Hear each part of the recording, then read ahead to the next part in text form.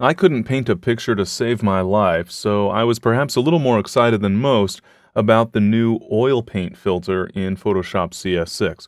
Let's take a look at this very cool filter that allows you to create an oil painting effect for any image. I'll start off by creating a copy of my background image layer. I'll drag the thumbnail for the background image layer to the Create New Layer button at the bottom of the Layers panel. That will create a background copy layer. I'll go ahead and double click the name for that layer and I'll just call this painting and press enter or return to apply the name change. And then I'll choose filter and then oil paint from the menu. Right away, you can see an oil painting effect for the photo. Let's take a look at the various options available for this filter. The first is stylization, and I think of this as allowing us to adjust between an image that looks closer to the original versus one that is much more stylized. I'll go ahead and leave the option set to its maximum value just so we can get a better sense of the other options here as well. We can then adjust cleanliness. In other words, do we want the overall image to seem relatively clean or a little bit more detailed? I think for this image, there's plenty of detail to begin with, and so a cleaner version might be more interesting. I'll set this up to a moderately high value.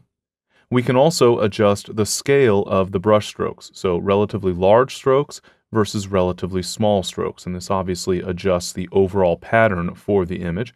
I think a little bit larger value in this case might work out kind of nicely. We can also adjust the degree of bristle detail. I'll go ahead and zoom in to a 100% view so that you can get a better sense of that bristle detail. I'll increase it to its maximum value and then reduce it to its minimum value and you can see that we're able to see the individual fibers in the brush in the actual painting effect.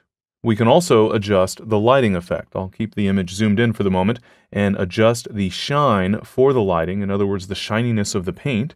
You can see this gives us a lot more relief in the image.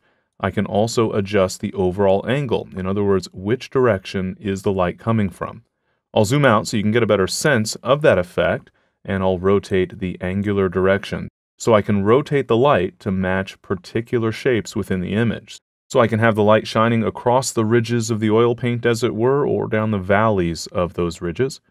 That's looking kind of interesting there, but I think I'll reduce the shine value a bit. So that, I think, is looking very abstract, but somewhat interesting. I'll go ahead and click OK, and we can see the final effect applied in the image. I can turn off the painting layer to see the original, and turn it back on to see that oil painting effect. So, a very fun tool to play with and a great new addition for Photoshop CS6.